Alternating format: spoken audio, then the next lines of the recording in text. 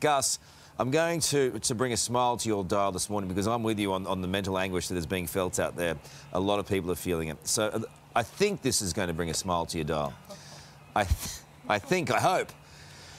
Um, we all know some people could fall off the wagon. Um, a monk has broken his vow of celibacy and meditation after being caught shopping at Melbourne's adults only store, Sexyland.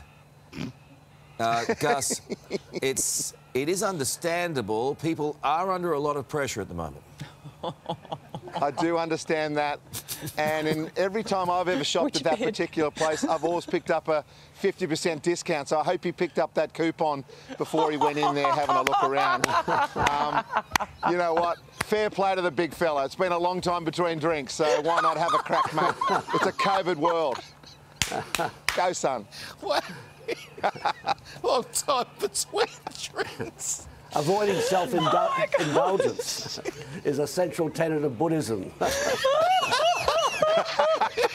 it's like the Dalai Lama. There's an old gag there, but I won't go to. Uh, what do you think, Wayne? Ah, look, i we're all under a lot of pressure. Sexy land. I mean, I didn't even know it existed. All right, thank you guys. Appreciate it. hey. Thanks, guys. Appreciate it. Still to come, Queensland tightens its borders.